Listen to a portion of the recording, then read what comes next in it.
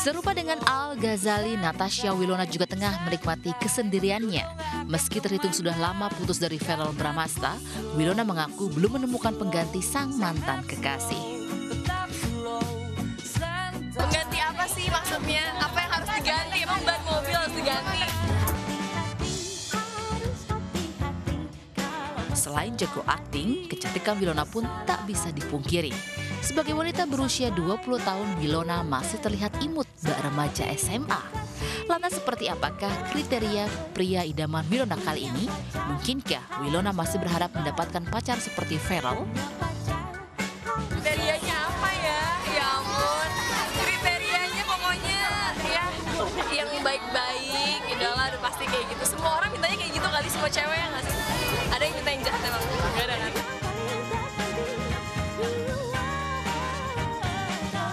Kita harus bahagia